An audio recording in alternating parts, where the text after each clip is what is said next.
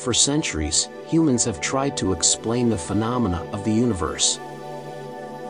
Not only do we observe them and give them quantitative values through the hard sciences, we also create hypotheses about their behavior and the mysteries they hide. One of the proposals that seeks to explain how one could travel in spacetime is the theory of wormholes. This proposal is a theoretical explanation of the space-time journey that cannot yet be proven. It has not been possible to know about any with the existing space observation technology so far. On the other hand, science still does not have the necessary elements to create a wormhole and experiment with it. What are wormholes? From black holes to the Big Bang, science has sought to understand outer space.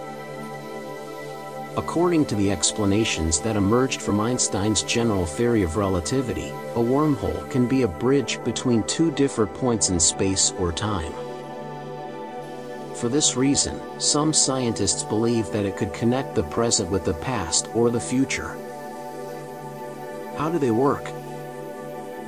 According to Einstein, the space is flexible and can bend, twist and deform. It has been proposed that the gravitational field of two bodies can attract them to each other from two points in space.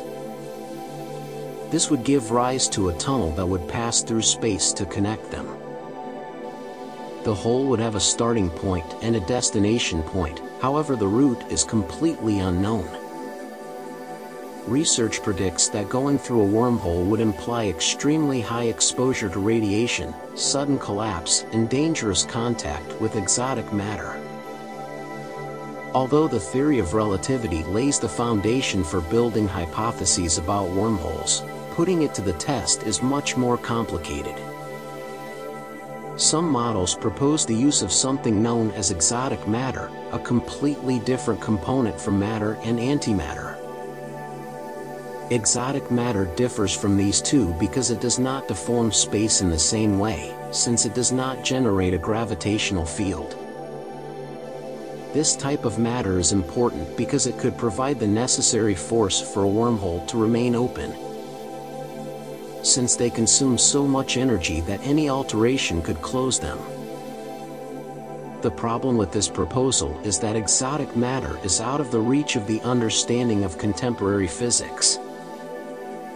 The debate about how a wormhole works and what would happen if we met one is very broad and has caused researchers on the subject to take completely opposite positions.